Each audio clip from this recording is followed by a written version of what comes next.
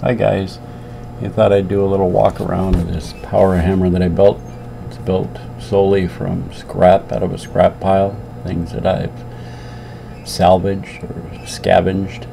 Um, everything from the old table legs that are scrolled that you see there, um, linkages, springs. The only thing I purchased were the nuts and bolts to put it together and the two slides.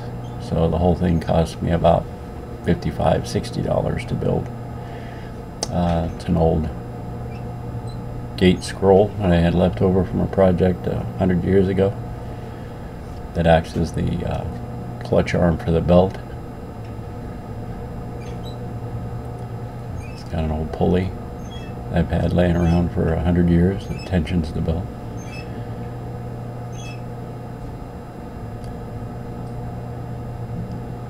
It's an old cast iron pulley off of a uh, conveyor belt that I salvaged, oh, I don't know, 15 years ago, I guess, or more.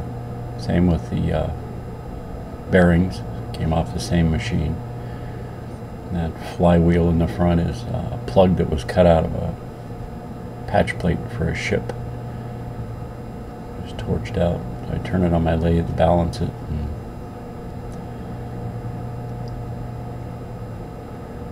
the uh, spring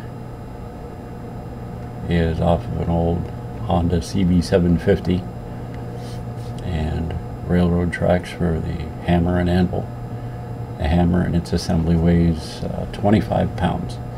Then I got a 12 by 12 section of old beam out of a building that uh, that anvil sits on on a railroad plate. I think I'll get a uh, probably an 8 inch round solid steel piece.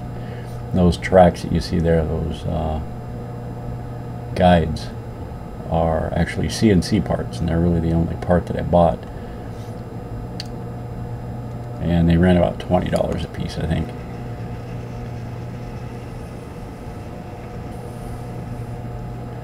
And she's running. And we tension the belt and the spring is fairly loose but it gives it a uh, a real good hammer effect. And you can actually run it so it'll tap pretty lightly or you can crank it up and, and really get it moving and it uh, it does quite well. For what it is. I use it a lot. Just recently built this thing.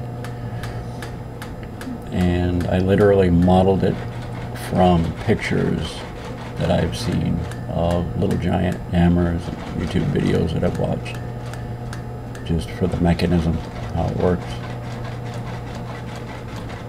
I think it would work a little bit better if it had a steel anvil under it, but um, that wood sort of absorbs a lot of the energy. That old motor was off that same conveyor belt that I got that pulley off of. Um, it was all free. I was going to a scrap yard and uh, talked to a guy and he said, yeah, salvage off of it what you want. And I've had it forever. And decided to put all this together. And it seemed to work out. It's amazing what you can build out of a pile of scrap. Anyway, you guys take care. Thanks for watching. Have fun.